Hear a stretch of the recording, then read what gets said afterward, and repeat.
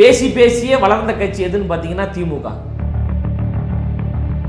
இந்த சின்ன பசங்க அரசியல்னா ஒன்றும் தெரியாத பசங்க அப்படின்ற மாதிரிலாம் நீங்கள் பேசக்கூடாது. களத்தில் சந்திப்போம். களத்தில் மோதி பார்ப்போம். உங்கள் கட்சிக்கென்று எழுபத்தைந்து ஆண்டு கால வரலாறு இருக்குல்ல? பலமுறை ஆளுங்கட்சியாக இருந்திருக்கீங்கல்ல? இப்போ எதற்காக இந்த சின்ன பசங்களை பார்த்து நீங்கள் பயப்படணும்?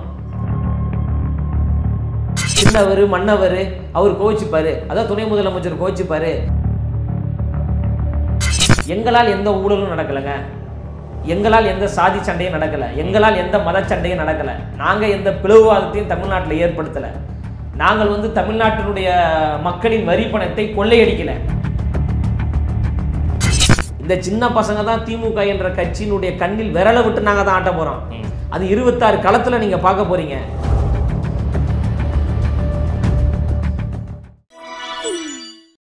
குழந்தைங்களுக்கு சொத்து சுகம் சேர்க்கறத விட முக்கியம். நல்ல அறிவும் ஆற்றலும் கொடுக்கறது தான். ஃபோர் டு ஃபோர்டீன் இயர்ஸ் கிட்ஸ்க்கான ஸ்கில் டெவலப்மெண்ட் ப்ரோக்ராம் தான் brain O brain always one step ahead. For traditional, latest, and modern jewelry, visit Jill Mill Fashion Jewelry at T Nagar, Chennai. Take on Tamil நேயர்களுக்கு வணக்கம். நான் விஜய் சிராஜ். இன்னைக்கு நம்ம கூட guest யார் இருக்காங்க அப்படி பார்த்தீங்கன்னா தாவேக்க கட்சியோட செய்தி தொடர்பாளர் லோயலா மணி அவர்கள் நம்ம கூட இருக்காங்க. வாங்க அவங்ககிட்ட நிறைய விஷயங்களை கேட்டு தெரிஞ்சுக்கலாம். அண்ணா வணக்கம்ண்ணே. வணக்கம்.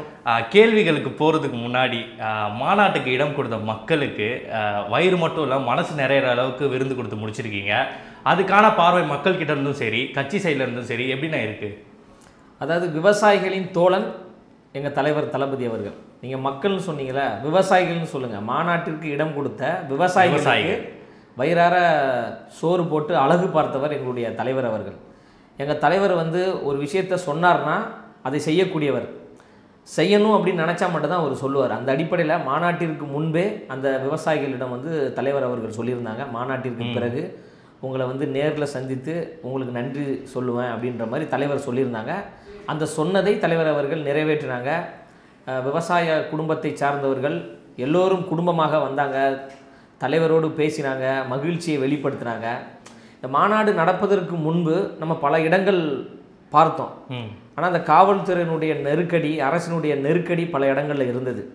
பெரிய பெரிய கோடீஸ்வரர்கள் செல்வந்தர்கள் பணக்காரர்கள் எல்லாம் நலம் வச்சிருக்கிறாங்க. ஆனால் அவர்கள் யாரும் கொடுப்பதற்கு முன் வரல. சாமானியர்கள் ஏழைகள் பாமர மக்கள் தங்களுடைய இடத்த கொடுத்து நீங்கள் மாநாடு நடத்துங்க அண்ணா. எவ்வளோ பிரச்சனை வந்தாலும் பரவாயில்ல. அதை நாங்கள் எதிர்கொள்வதற்கு தயாராக இருக்கிறோம். தமிழ்நாட்டில் ஒரு மாற்றம் நிகழ வேண்டுமென்றால் அது உங்களால் தான் நிகழணும். உங்களால் தான் அது நடத்த முடியும் அப்படின்ற ஒரு நம்பிக்கையின் அடிப்படையில் அந்த விவசாயிகள் எங்களை நம்பி இடம் கொடுத்தாங்க. அவர்களுக்கு வயிறார உணவு கொடுத்து அவர்களுக்கு ஒரு மகிழ்ச்சியை வெளிப்படுத்தணும் அப்படின்னு எங்கள் தலைவர் அவர்கள் ஒரு பெரும் உள்ளத்தோடு மகிழ்ச்சியை வெளிப்படுத்தினாங்க. விவசாயிகள் எல்லோரும் குடும்பம் குடும்பமாக வந்து தலைவரோடு பேசி புகைப்படங்கள்லாம் எடுத்துக்கொண்டாங்க. அந்த காட்சியெல்லாம் நம்ம சமூக வலைதளத்தில் பார்த்துருப்போம். அதனால் எங்கள் தலைவர் அவர்கள் அஹ், சொல்றதை அப்படியே செயல் வடிவமாக மாற்றக்கூடிய ஒரு தலைவர். மீடியா நண்பர்களை தலைவர் விஜய் அவர்கள் சந்திக்க வாய்ப்பு இருக்கா? இல்லை கண்டிப்பாக உறுதியாக சந்திப்பாருங்க. எங்கள் தலைவர் அவர்கள் வந்து மீடியாவை சந்திக்காத நபர்லாம் கிடையாது. தலைவர் அவர்கள் மீடியாவை சந்திச்சிருக்கிறாங்க பேசியிருக்கிறாங்க. ஐநூறுரூவா நோட்டு ஆயிரம் ரூபா நோட்டு செல்லாது என்று மோடி அவர்கள் அறிவித்த போது பத்திரிகையாளரை சந்தித்து அது இதனால் ஏற்படுகின்ற பாதிப்புகள் என்ன இதனால் ஏற்படுகின்ற மக்கள் பிரச்சனைகள் என்ன என்பது குறித்தெல்லாம் தலைவர் அவர்கள் மீடியாவில் பேசியிருக்கிறாங்க. அது ஒரு ஆக்டரா? நான் கண்டிப்பா கேட்டது தலைவரா அவர்கள் மீடியாவை பார்த்து பேசுவார். பொங்கலுக்கு பிறகு எங்க தலைவர் அவர்கள் ஊடகத்தினரை சந்திப்பாங்க மக்களை நேரடியாக சந்திக்க போறாங்க மக்களுடைய குறைகளை கேட்க போறாங்க பல பிரச்சனைகளுக்கு குரல் கொடுக்க போறார் எங்க தலைவர் அவர்கள். அதனால அடுத்தடுத்து பல அதிரடியான நிகழ்வுகள்லாம் இருக்கு. ஆஹ் வர டிசம்பர் ஆறு திருமாவளவன் அவர்கள் நடத்த போற எல்லோருக்குமான தலைவர் அம்பேத்கர் புத்தக வெளியீட்டு விழாக்கு தளபதி அவர்கள் கலந்துக்க வாய்ப்பு இருக்கா? இல்லை எல்லோருக்குமான தலைவர் ஆனால் அம்பேத்கர். அதில் எந்த மாற்று கருத்துமே கிடையாது. சாதி கூடாது ஏற்றத்தாழ்வுகள் கூடாது பிரிவினைகள் கூடாது. எல்லோரும் சமமாக இருக்கணும். எல்லோருக்கும் வந்து சமூக நீதி கிடைக்கணும். சம வாய்ப்பு சம உரிமைகள் உருவாக வேண்டும் என்று போராடிய ஒரு தலைவர் யாருன்னு பார்த்தீங்கன்னா அண்ணல் அம்பேத்கர் அவர்கள். அறிவாளிகள் பட்டியலிலே முதல் பத்து இடத்தை பிடித்த நபர் யாருன்னு பார்த்தீங்கன்னா அண்ணல் அம்பேத்கர் அவர்கள். அந்த தலைவருக்கு ஒரு நிகழ்வு முன்னெடுக்கின்ற பொழுது அந்த நிகழ்வில் எங்கள் தலைவர் தளபதி அவர்கள் கலந்து கொள்வாங்க. அதில் எந்த மாற்று கருத்துமே கிடையாது. அண்ணல் அம்பேத்கர் அவர்கள் எல்லோருக்குமான தலைவர் தான். வாக்காளர் முகாம் வந்து சமீபத்தில் நடந்துச்சு. அங்கே வந்து சில அடிதடிகள் நடந்ததா கேள்விப்பட்டேன் நீங்கள் சின்ன பசங்க உங்களுக்கு அரசியல் தெரியாது அப்படின்னு சொல்ற மாதிரி செய்திகள்லாம் வெளியாகி இருந்துச்சு. இல்லை அவங்க வந்து எங்களை சாதாரணமாக எடை போடுறாங்க. ஈஸியாக வந்து எங்களை கையாண்டலாம் அப்படின்னு சொல்லிட்டு நினைக்கிறாங்க. அதெல்லாம் ரொம்ப ஒரு தவறுங்க. அண்ணல் அம்பேத்கர் சொன்ன அந்த வாக்கியத்தை மேற்கோள் காமிச்சு தான் நான் சொல்கிறேன் காற்றாற்று வெள்ளத்தில் கரைந்து போவதற்கு நாங்கள் ஒன்றும் களிமண்கள் கிடையாது.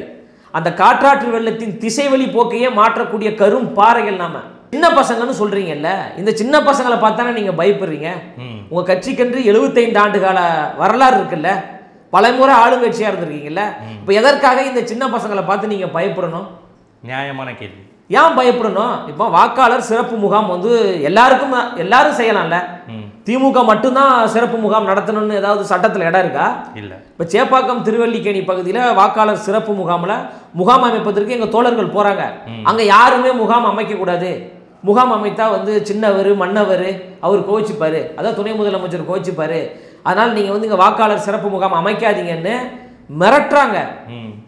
ஆட்சியும் அதிகாரத்தையும் வைத்துக்கொண்டு மிரட்டுவது உருட்டுவது இதற்கெல்லாம் நாங்கள் பயப்படக்கூடிய ஆட்கள் கிடையாது. அண்ணல் அம்பேத்கரையும் தந்தை பெரியார் அவர்களையும் ஐயா காமராஜர் அவர்களையும் அஞ்சலை அம்மாள் அவர்களையும் வேலுநாச்சல் அவர்களுடைய வாழ்க்கை வரலாறை படித்து கொண்டு பொது வாழ்க்கைக்கு வந்திருக்கிறோம். இந்த சின்ன பசங்களுடைய ஆட்டத்தை ரெண்டாயிரத்தி இருபத்தி ஆறில் நீங்கள் பார்க்க தானே போறீங்க? இந்த சின்ன பசங்க தான் திமுக என்ற கட்சியினுடைய கண்ணில் விரலை விட்டு நாங்கள் தான் ஆட்ட போகிறோம் அது இருபத்தாறு களத்தில் நீங்கள் பார்க்க போறீங்க. இந்த சின்ன பசங்களை நம்பி தான் தொண்ணூறு லட்சக்கணக்கான தோழர்கள் மக்கள் எங்கள் பின்னாடி இருக்கிறாங்க. எங்கள் நாங்கள் சின்ன பசங்களாக இருந்தால் எதுக்கு எங்கள் பின்னாடி வரணும்? அப்போ மக்கள் எங்களை நம்புறாங்களே இந்த சின்ன பசங்க அரசியல்னா ஒன்றும் தெரியாது பசங்க அப்படின்ற மாதிரிலாம் நீங்கள் பேசக்கூடாது. களத்தில் சந்திப்போம். களத்தில் மோதி பார்ப்போம். கருத்தியெல்லாம் மோதி பார்ப்போம். இந்த சின்ன பசங்க தான் திமுகவை ஓட ஓட அரசியல் களத்தில் மக்கள் துணையோடு விரட்ட போறாங்க. அது ரெண்டாயிரத்தி இருபத்தி ஆறில் நடக்க போகுது. ஏன்னா எங்கள் தலைவர் வந்து மக்களின் மக்களாக தானே வராரு. மக்களின் ஒரு குரலாக வராரு. குரலற்றவரின் குரலாக வரக்கூடிய ஒரு தலைவராக தளபதி அவர்கள் இருக்கிறாங்க. இப்போ எழுபத்தைந்து ஆண்டு காலம் பவள விழா கொண்டாடிய கட்சி திமுக அப்படின்னு சொல்கிறாங்க பேசி பேசியே வளர்ந்த கட்சி எதுன்னு பார்த்தீங்கன்னா திமுக. ஆனால் எங்கள் தலைவர் ஒரே ஒரு மேடையில் தான் பேசினார். திமுக என்ற ஒரு கட்சி பதறிக்கொண்டிருக்கு கதறிக்கொண்டிருக்கு. காரணம் என்ன? அவர்கள் செய்த ஊழலையும் அவர்கள் செய்கின்ற பித்தலாட்டத்தையும் எங்கள் தலைவர் அவர்கள் மக்கள் மத்தியில் தோலுறுத்தி காட்டினார். அதை பொறுத்து கொள்ள முடியாத திமுக கட்சியை சார்ந்தவர் நாள்தோறும் எங்களுக்கு எதிராக பொய்யான அவதூறுகளை பரப்புவது எங்களுக்கு எதிரான கருத்துக்களை சொல்லுவது இது போன்ற ஒரு செயலை நம்ம பார்க்க முடியுது. அப்போ இதுவே எங்களுக்கு ஒரு மிக மிகப்பெரிய ஒரு வெற்றி தான். ஒரு 75 ஆண்டு கால பாரம்பரியம் கொண்ட ஒரு கட்சி எங்களை எதிர்க்கிறார்கள் என்றால் நாங்கள் மிக சரியாக இருக்கிறோம் என்று அர்த்தம். எங்களால் எந்த ஊழலும் நடக்கலைங்க. எங்களால் எந்த சாதி சண்டையும் நடக்கலை. எங்களால் எந்த மத சண்டையும் நடக்கலை. நாங்கள் எந்த பிளவுவாதத்தையும் தமிழ்நாட்டில் ஏற்படுத்தலை. நாங்கள் வந்து தமிழ்நாட்டினுடைய மக்களின் வரி பணத்தை கொள்ளையடிக்கலை. வரி பணத்தை கொள்ளையடித்தவர்களுக்கு அமைச்சரவையில் நாங்கள் இடம் கொடுக்கல. நாங்கள் வந்து கள்ளசாராயம் புழக்கத்தை உருவாக்கி கள்ளசாராயத்தை கொடுத்து எழுபது பேரை கொலை செய்தவர்கள் நாங்கள் கிடையாது. இப்போ சீமான் அவர்கள் வந்து தளபதி அவர்களை பேசினதுக்கு அப்புறம் நாம் தமிழர் கட்சியிலேருந்து நிறைய பேர் இப்போ டிவி கேட்க வந்துட்டு இருக்காங்க அது எந்த அளவுக்கு நான் கட்சிக்கு பலத்தை சேர்க்குது? நாம் தமிழர் கட்சி மட்டும் கிடையாது பல கட்சியிலிருந்து திமுகவிலிருந்து அதிமுகவிலிருந்து பிஜேபியிலிருந்து காங்கிரஸிலிருந்து பல கட்சிகள்ல இருந்து எல்லோரும் ஒரு மாற்றம் வேண்டும் என்று தமிழக வெற்றி கழகத்தை நோக்கி வராங்க. அவர்களை எல்லோரும் நாங்கள் வந்து அன்புள்ளத்தோடு நாங்கள் வரவேற்கிறோம். எங்கள் கட்சியில் நாங்கள் உறுப்பினராக இணைத்து விட்டோம். எல்லாரும் ஒன்றிணைந்து வேலை செய்ய ஆரம்பிச்சிட்டோம். ஓகேண்ணா இப்போ நான் ஒரு உங்களுக்கு ஒரு ஃபோட்டோ காட்டுறேன். இதை பற்றி என்ன நினைக்கிறீங்கன்னு சொல்லுங்கள் அதான் இந்த போட்டோ பார்த்தா எங்களுக்கு சிரிப்பு தான் வருது. அதாவது வாய் வந்து எப்படி வேணாலும் பேசும் என்பதற்கு இதுவே ஒரு சிறந்த ஒரு உதாரணமாக நம்ம பார்க்கலாம். அண்ணன் சீமான் அவர்கள் ஐயா ரஜினிகாந்த் அவர்களை குறித்து பேசாத பேச்சா. எவ்வளவு அவதூறுகள் எவ்வளவு அவமானகரமான வார்த்தைகள் ஆபாச வார்த்தைகள் கீழ்த்தரமான வார்த்தைகள் காது கொடுத்து கேட்க முடியாத வார்த்தைகள் எல்லாம் பயன்படுத்தி விட்டு இப்போ போயிட்டு ஐயா ரஜினிகாந்த் அவர்களை வந்து ஏன் பார்த்தாருன்னு தெரியல. அரசியல் வந்து ஒரு சாக்கடை அப்படின்னு சொல்லுவாங்கல்ல. அந்த மாதிரியான ஒரு செயல்பாடாகத்தான் தெரியுது. இப்போ இந்த சந்திப்பே ரஜினிகாந்த் அவருடைய ரசிகர்களுக்கு சீமான் போய் சந்திச்சு சந் கண்டிப்பாக பிடிக்காது. அண்ணன் சீமான் அவர்களுடைய கட்சியின் தோழர்களுக்கு இவர் போய் ரஜினிகாந்தை சந்தித்தது அவங்க தோழர்களுக்கு பிடிக்காது. அப்போ ஒரு பிடிக்காத ஒரு விஷயத்தை அவர் செஞ்சிருக்கிறார். அது அவருக்கு எதற்காக போய் பார்த்தாங்க ஏன் பார்த்தாங்க அப்படின்லாம் நமக்கு தெரியாது. ஆனால் அந்த பார்த்த முறை என்பது ஒரு தவறு. அதை பார்த்த பிறகு அது எங்களோடு தொடர்பு படுத்தி பேசினாங்களே அது வந்து ஒரு மிகப்பெரிய தவறு. இப்போ எங்கே பார்த்தாலும் டிவிகேவோட கூட்டணி வந்து யார் கூட இருக்கும் அப்படிங்கிற பேச்சு பயங்கரமாக அடிபட்டு இருக்கு எல்லாரும் என்ன சொல்கிறாங்கன்னா ஏடிஎம்கே கூட வந்து கூட்டணி வைக்க வாய்ப்பு அதிகமாக இருக்குது அப்படின்னு சொல்லிட்டு வராங்க. ஒருவேளை வாய்ப்பு வச்சா கூட்டணி அமைஞ்சா தலைமை யார் பக்கம் இருக்கும்? டிவிகேவா இல்லை ஏடிஎம்கேவா எதற்காக நாங்கள் கூட்டணி வைக்கணும்? எங்கள் கூட்டணிக்கான தேவை என்ன இருக்குது மக்களை நம்பி வராங்க. நாங்கள் மக்களோடு கூட்டணி வைக்கிறோம். மக்கள் எங்களை நம்புகிறாங்க நாங்கள் மக்களை நம்புகின்ற பொழுது எங்களுக்கு எந்த கூட்டணியுமே தேவை கிடையாதுங்க. அதுவும் குறிப்பாக திமுக அதிமுக போன்ற கூட்டணி எதற்கு திமுக அதிமுக வேணாம் நாங்கள் ஒரு மாற்றத்தை தரோம் அப்படின்னு வருகின்ற பொழுது நாங்கள் எதற்காக அதிமுகவோடு கூட்டணி வைக்கணும்? எங்கள் தலைமையில் கூட்டணி எங்கள் தலைவர் தலைமையில் கூட்டணி உண்டு.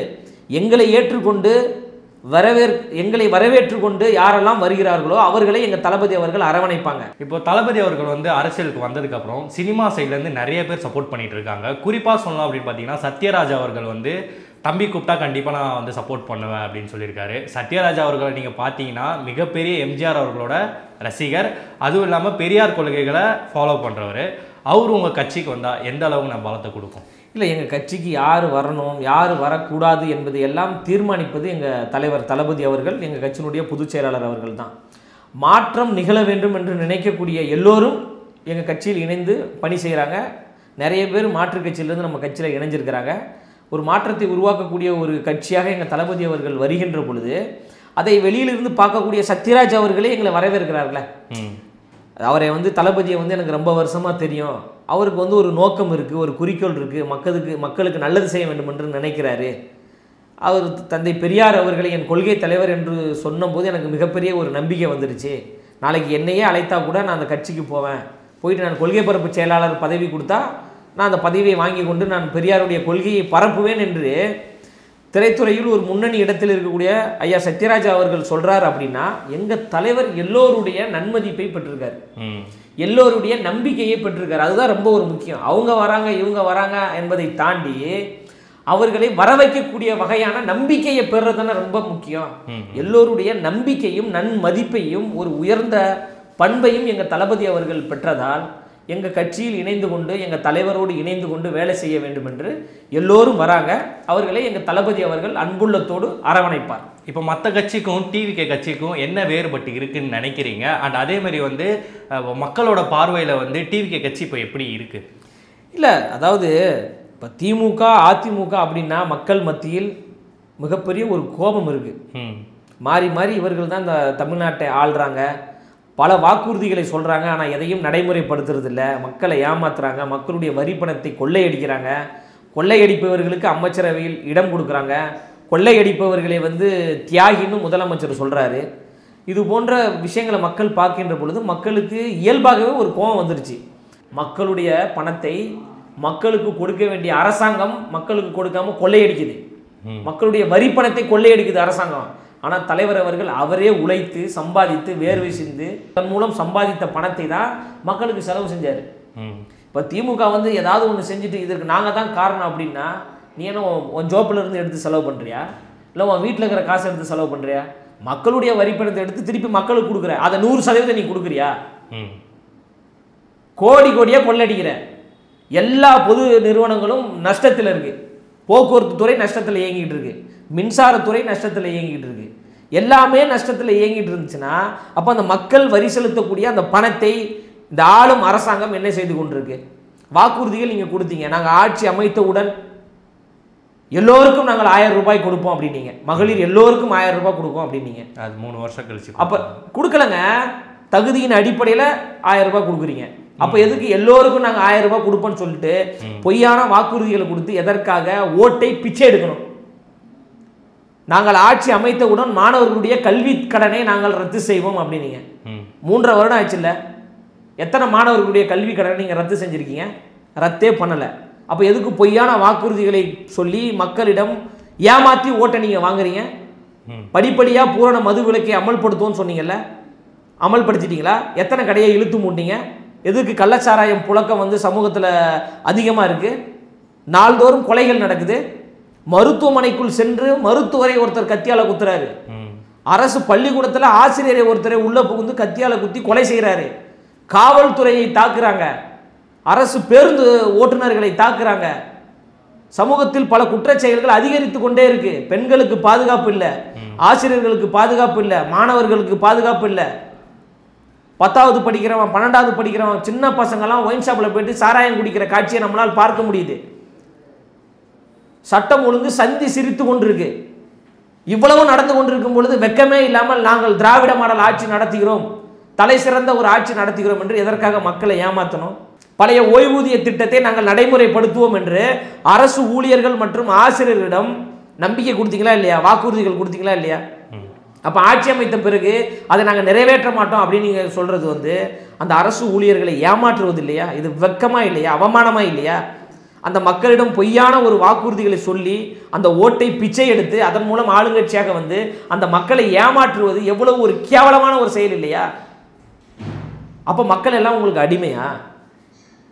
அப்போ மக்களை நீங்கள் வந்து ஏமாற்றிக்கிட்டே இருப்பீங்களா? நீங்கள் எதை சொன்னாலும் மக்கள் நம்புவார்கள் என்று நினைக்கிறாங்க பார்த்தீங்களா இந்த போக்கு தவறு. அதற்கு ரெண்டாயிரத்தி இருபத்தி ஆறில் மக்கள் சரியான பதிலடி கொடுக்க போகிறாங்க ஆனால் இப்போ கட்சிக்கு வர விமர்சனங்களாக இருக்கட்டும் எதிர்ப்பாக இருக்கட்டும் அதை எப்படி வந்து தலைமை எதிர்கொள்ள போகுது அதே மாதிரி தொண்டர்கள் வந்து அதை எப்படி கையாள போகிறாங்க இல்லை பொது வாழ்க்கை என்று வந்துவிட்டால் விமர்சனங்கள் வரதான் செய்யும். அதில் எந்த மாற்று கருத்துமே கிடையாது. போற்றுவோர் போற்றட்டும் புழுதி வாரி தூற்றுவோர் தூற்றட்டும். அதை நம்ம எதிர்கொண்டு தான் ஆகணும். எங்கள் தலைவர் அவர்கள் சினிமா துறையில் அவர் சந்திக்காத ஏற்றத்தாழ்வுகளோ அவர் சந்திக்காத விமர்சனங்களோ அவர் சந்திக்காத அவமானங்களோ கிடையாது. அதே போன்று தான் எங்களுடைய தோழர்களும் சரி எல்லோரும் அவமானங்களையும் ஏற்றத்தாழ்வுகளையும் நெருக்கடிகளையும் பல பிரச்சனைகளையும் சந்தித்து தான் நம்ம பொது வாழ்க்கைக்கு வந்திருக்கோம். அதனால் இதெல்லாம் வந்து நாங்கள் எளிதாக வந்து கடந்து போயிடுவோம் எங்கள் தலைவர் தலைவரே மாநாட்டில் சொன்னாங்கல்ல இந்த ஆபாசம் இந்த ட்ரோலு இந்த அல்லு சில்லுகள் இந்த பயாஸ்கோப்லாம் எங்ககிட்ட காட்டாதீங்க. நாங்கள் மக்கள் துணையோடு மக்களின் படையோடு வருகிறோம். இந்த படையை வந்து மிக எளிதில் வீழ்த்திடலாம் அப்படின்னு நீங்கள் நினைக்காதீங்கன்னு எங்கள் தலைவர் சொன்னார்ல. அதை தான் நாங்கள் சொல்கிறோம் நீங்கள் வந்து இந்த மீம்ஸ் போடுறது எங்களை கலாய்ப்பது காமெடியாக சித்தரிப்பது ஆபாசமாக சித்தரிப்பது என்ன வேணால் பண்ணிட்டு போங்க. அது எதுவுமே எங்களை ஒன்றுமே பண்ணாது. மக்கள் மீது எங்களுக்கு மிகப்பெரிய நம்பிக்கை இருக்குது மக்களுக்கு எங்கள் மீது மிகப்பெரிய ஒரு நம்பிக்கை இருக்குது மக்களை நம்பி நாங்கள் வருகின்ற பொழுது மக்கள் எங்களை கைவிட மாட்டாங்க. மக்கள் எங்களை கொண்டாடி கொண்டிருக்காங்க. மக்கள் எங்களை வரவேற்று கொண்டிருக்காங்க. எப்போ ரெண்டாயிரத்தி இருபத்தி ஆறு தேர்தல் வரும் எப்போ தளபதிக்கு ஓட்டு போடுவோம் என்கின்ற நம்பிக்கையோடு பல பேர் காத்து கொண்டிருக்காங்க. அவர்களின் நம்பிக்கைக்கு முன்னாடி உங்களுடைய விமர்சனங்கள்லாம் என்ன பண்ணும்? உங்களுடைய விமர்சனம் வந்து எங்களை ஒன்றுமே செய்யாது. உங்களுடைய ஆபாச சித்தரிப்புகளாம் எங்களை ஒன்றுமே செய்யாது. எல்லாவற்றையும் அடித்து உடைத்து விட்டு மிகப்பெரிய மக்கள் படையோடு ஒரு ஆட்சி மாற்றத்தை எங்கள் தளபதி அவர்கள் உருவாக்குவாங்க. ஓகேண்ணே ரெண்டாயிரத்தி இருபத்தி ஆறு வந்து களத்தில் சந்திக்கலாம் உங்கள் பொன்னான நேரத்தை எங்க கூட ஒதுக்குனதுக்கு ரொம்ப நன்றிண்ணே மிக்க நன்றி For traditional, latest, and modern jewelry, visit Jill Mill Fashion Jewelry at T Nagar, Chennai.